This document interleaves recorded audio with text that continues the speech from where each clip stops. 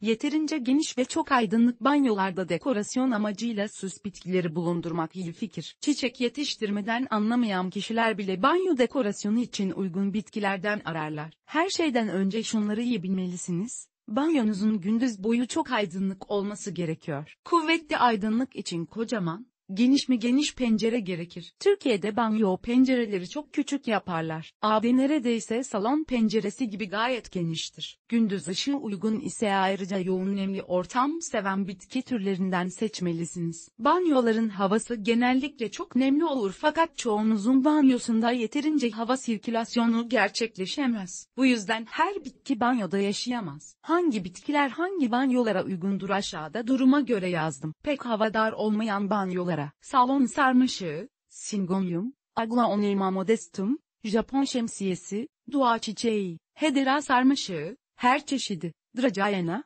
düz yeşil yapraklı olan çeşitleri, özellikle şans bambusu denen türü ve aspidistra, aşk merdiveni, deve tabanı, bromeli ad türleri, difenbahya, barış çiçeği, kareks, şiflera, benjamin, günde en az 1 ile 2 arasında saat güneş alan, çok havadar ve esintili olan banyolara A.